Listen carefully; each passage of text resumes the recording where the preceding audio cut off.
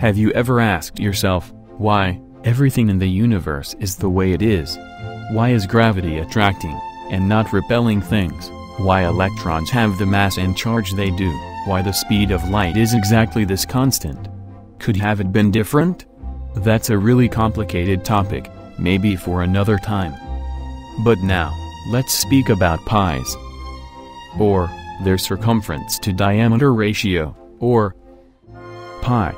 It has a constant value of 3.14159 and so on to infinity. By the way, you can find any number you can think of within pi. Okay, back to geometry.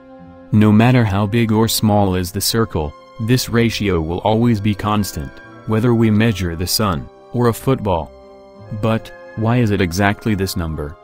Why isn't it for example, 3.2 or 42?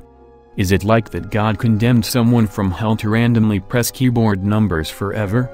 Does it have a logical explanation, or is this simply an arbitrary number? We'll have to dwell into Einstein's theory of relativity and the nature of space-time itself to answer this question, so yeah, sit steady.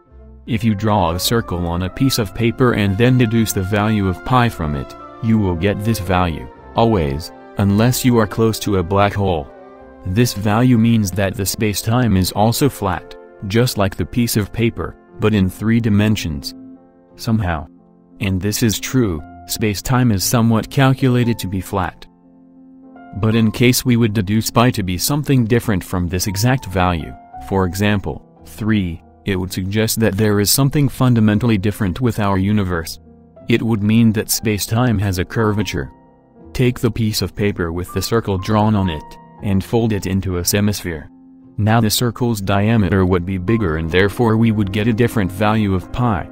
This happens because we folded the paper, but imagine we don't, and we still somehow get something different from the normal pi value. That would mean that the spacetime has a curvature, just like the paper did. The universe geometry would look quite different from what it is.